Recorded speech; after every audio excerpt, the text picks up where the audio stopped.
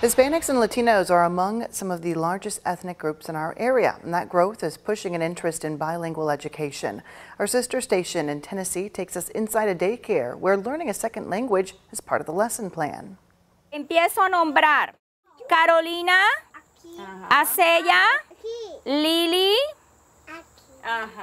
Inside Mrs. Diana's classroom, kids here can travel to the tropics of Brazil's Amazon rainforest or learn parts of the body, all in Spanish and all from Knoxville.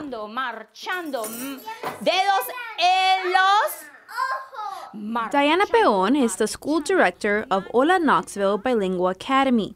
She teaches kids as young as three years old how to speak and read in English and Spanish, all through hands-on and immersive learning activities.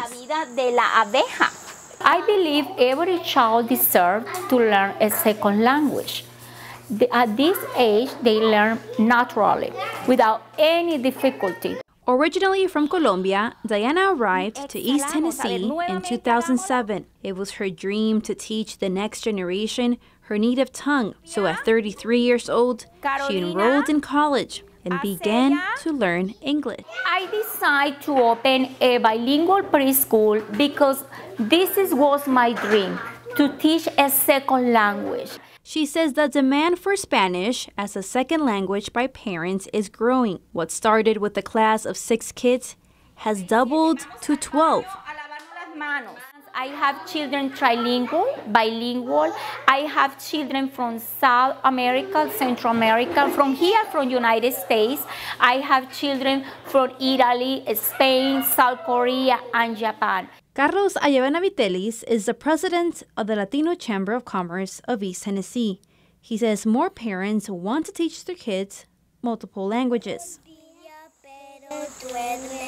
These kids start from one year old learning Spanish and will go home and they continue with, you know, with the English language at home. So that kind of influence and that kind of brain activity. The interest of bilingual education expands outside of just early childhood, but into adulthood Of course, it makes you so much more marketable on the job market.